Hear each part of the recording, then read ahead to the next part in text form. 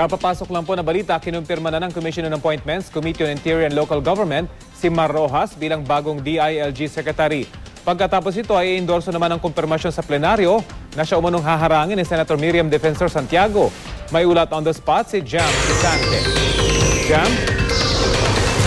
Yes, Rafi, pasado na nga si uh, incoming DILG Secretary Mar Rojas sa CA Committee on Interior and Local Government matapos ang isa't kalahating oras ng deliberasyon.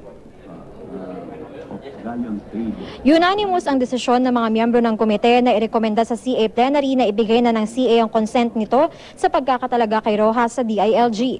Yan ay sa kabila ng oposisyon ng Employees Association ng Bureau of Immigration, Bureau of Quarantine at Bureau of Customs sa kumpirmasyon ng appointment kay Rojas. Sa pagdinig, pinahayag ni Attorney Henry Tuban, Council ng Immigration Employees Association, ang kanilang oposisyon dahil tumigil daw ang pagkakaroon nila ng overtime pay mula sa airline companies sa ilalim ng pamumuno ni Rojas sa DOTC. Pero paliwanag ni Rojas, hindi niya desisyon ng hakbang na ito. Polisiya raw itong napagkasunduan ng DOJ na namamahala sa Bureau of Immigration, DOH na namamahala sa Bureau of Quarantine at DOF na namamahala sa Bureau of Customs. Si Rojas lamang daw ang nagparating sa airline companies sa pamamagitan ng kaap na hindi na maaaring magpatuloy ang pag-asa ng mga empleyado sa airline companies para sa kanilang overtime pay.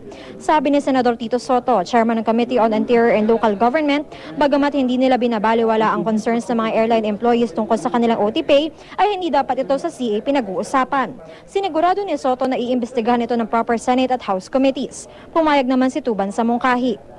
Bago magsalita ang opositor, tinanong ni Senador Panfilo Lacson si Rojas kung paano nito susugpuin ang weteng, ang mataas na crime rate at mga problema sa pulisya, Bureau of Fire Protection and Jail Management at LGUs. Sabi ni Rojas, susundin niya ang prinsipyo sa good management na aalamin at aanilisahin muna kung ano ang problema para maplano ng maigi ang solusyon dito. Sa problema sa weteng, pag-aaralan daw ni Rojas sa mga alternatibo tulad ng small town lottery at loterya ng bayan at magbibigay ng rekomendasyon sa Pangulo. Naitanong, natanong din si Rojas tungkol sa pinaplano ni Senador Miriam Defensor Santiago na pagharang sa plenary confirmation sa kanyang appointment. Sabi ni Rojas, nirerespeto niya ang senadora at ang mga patakaran ng CA. Pero paliwanag niya kaya siya tumanggi sa imbitasyon sa pagdinig ng uh, committee ni Santiago noong biyernes ay dahil hindi pa siya nauupo bilang DILG Secretary. Wala raw siyang makukontribute sa pagdinig ni Santiago, lalo pat evaluation ito ng performance sa dating DILG Undersecretary Rico Puno.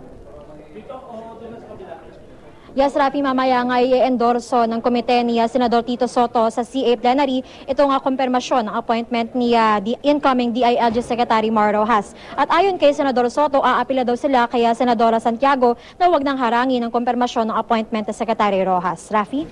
So Jam, kung matuloy nga yung pagharang ni uh, Senator Santiago dito sa confirmation, ano mangyayari dito kay uh, Secretary Marojas? Well, sabi ni Senate Press, kasi sa ngayon nga, Rafi, di ba, hindi makaupo si, uh, si uh, incoming DILG Secretary Mar Rojas doon sa DILG dahil nasa sesyon ng Kongreso at regular appointment sa kanya. So sabi ni Senate President Juan Ponce Enrile, uh, pagka nag-adjourn na raw yung Kongreso, which will happen on uh, Thursday, pwedeng mag-issue yung uh, Malacanang ng ad interim appointment o kay Rojas para makaupo na siya doon sa DILG. Tapos pagkatapos nun, kahit na hindi pa siya nakakonfirm ng uh, CA, ay pwede na siyang umupo bilang uh, kalihim nga ng DILG. Rafi? Okay, maraming salamat, Jam Sisante.